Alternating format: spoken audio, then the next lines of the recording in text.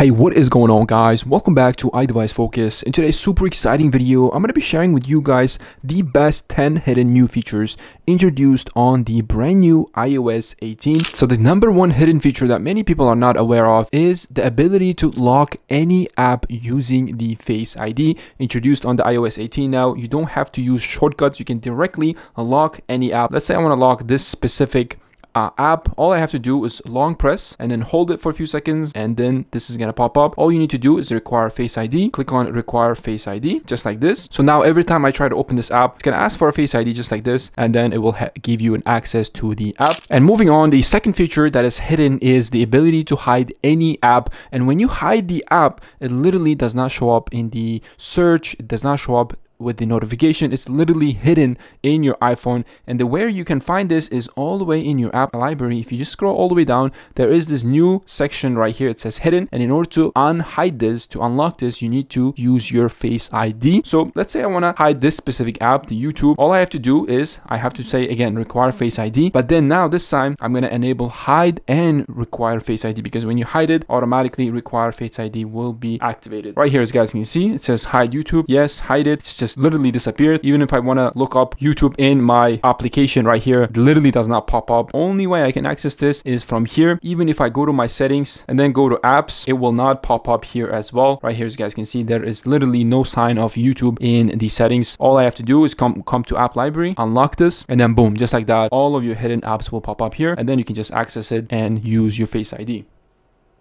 Moving on guys, the third hidden feature is, I guess this is not really hidden, but many people may overlook this and miss this. This is the redesigned brand new control center. If you just swipe from the top right corner, as you guys can see, this looks pretty typical to your usual control center, but only thing is right here on the right side, if you just swipe just like this to scroll all the way down, you can see that there's different menus now. You have the ability to access your audio right here, and then all of your settings such as your AirDrop, Wi-Fi, cellular data, Bluetooth, all of them have a separate menu now instead of being able to access it from the main control center. You can now just scroll all the way down and have a little bit nice organized settings within the control center at your fingertips. And now moving on, next up, we have the brand new app icons on the bottom, the ability to customize these two different icons. Back in the day, it was only fixed with the camera as well as the flashlight right here. But now if you just hold and press, first you need to unlock your device and then just hold and press, get to this section. From here, you're going to click on customize and then click on the lock screen and boom, just like that. If you just click on this minus icon and then add, literally you can add anything in this section. You can add any button or even if you want to set up a custom shortcut, you can also do that and add a custom shortcut right here as you guys can see different sounds, translate, utilities, vision accessibilities, voice memos, wallet, watch. You guys get the idea. A bunch of different options here to add as a custom button right at your fingertip in the lock screen. What I like to put is the airplane mode because I think it's just the most convenient thing being able to just turn on airplane mode. Let's say if I want to shoot a video so that I don't get distracted. So easy and comfortable and convenient. And also same thing you can do over here. You can just go ahead and select anything from here that you want. Say I want to do alarm and then click on done and check out this guys. You can also right here select from different styles of lock screen themes right here. This is my favorite by far. So now the next hidden feature is the ability to customize your home screen and your app icons. You can literally hold and press, go to edit right here as you guys can see. There is a new section here. It says customize and boom, if you click on it, it's gonna bring this up. This is a new menu added on the iOS 18 beta. Right here as you guys can see, you have the ability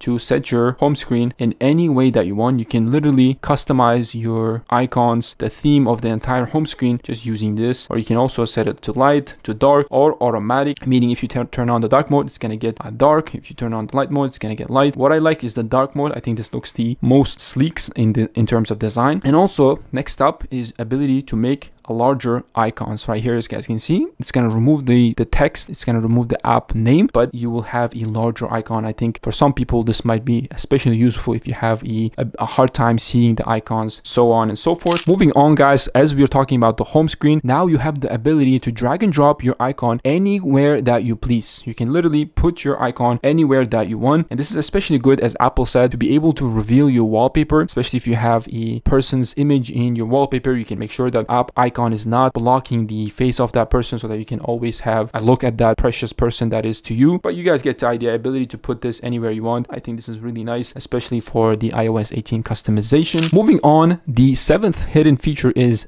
a lot of people don't know about this. This is the flashlight, new flashlight feature right here as you guys can see. If I can turn off, off my light, right here as you guys can see, I'm going to turn off my light and every time you turn on your flashlight, you will have these two different settings. The one is for increasing the brightness of your flashlight. Other one is controlling the, the width of your flashlight. You can literally make it like tunnel vision or you can make it wider so that way it covers the larger area but not as far you guys get the idea but this is a really cool feature introduced on ios 18 that i think a lot of people should check out. A lot of people miss this because this is literally like hidden. Me myself personally at the beginning i didn't pay much attention to this but then i saw that there is these two different lines here. You can literally control the brightness as well as the width of your light how much of the area that it covers and how far it goes which is really really nice. Moving on the next hidden feature is within the calculator. Now you get a completely redesigned calculator where you can access all of your previous calculations calculations here on the top left corner. If you click on this menu, it's going to give access to a bunch of different uh, calculations that you've done in the past. But not only that, you just go ahead and flip this right here as you guys can see. And then go to the calculator. It's going to give access to scientific calculator math notes as well as convert anything that you want to convert. And literally you can draw graphs with this do any type of mathematic equations. And not only that guys if you just go ahead and open up your notes and then click on this right here the draw and then choose the basic one. And then let's say I want to do 4 plus 4 and then as soon as you do equal and then click on solve it's gonna automatically solve the uh, the equation which is kind of crazy. You can do your all of your you know math on the notes app especially if you have ipad you can just go ahead and type in everything or write out everything. And as you do it it's gonna solve every single equation that you have. Even if you have complicated equations it can solve that. Right here as you guys can see solve it. Boom just like that. And it's gonna resize it accordingly which is really really nice. You guys get the idea. But moving on guys the ninth hidden feature that we have on ios 18 as we are already on notes this is called smart script. A lot of people don't know about this but essentially what it does is that when you are writing something by hand or with the smart pen, it automatically corrects the spelling mistakes that you do. Let's say I am typing right here as you guys can see I purposely made a mistake now I can literally fix this and it's gonna rewrite it using my handwriting. As you write more and more it's gonna learn your handwriting and adjusts according to your handwriting. Another thing that this smart script can do is you can copy and paste text from the web and it's gonna write it in your own handwriting when you paste it to here which is really really nice. But last but not least guys this is definitely a hidden feature. I took probably like two to three days to figure out that this was actually was included on ios 18 this is a really subtle but really nice animation. This is the animation added for the buttons on the sides, both the volume up as well as the lock button. Right here, as guys can see, look, you see that animation on the left side. If I do volume down, you can see that from the, you see that nice little bump every time you click on it. And same thing when you lock it which is really really nice. This is a hidden nice little animation that many people might not notice. It's really subtle but it's a good addition to the ios 18 nonetheless my friends there you have it. I hope you enjoyed this video. If you did you know what to do. Smash that like button because it really helps the youtube algorithm to promote to new people as well as subscribe down below because i post high quality ios related content just like this one. Thanks again for watching. Check out this video if you want to install the ios 18 beta on your device or if you want to check out ipad os you can check out this video right here on the left side. With that being said thanks again for watching. Catch you guys next video. Peace out.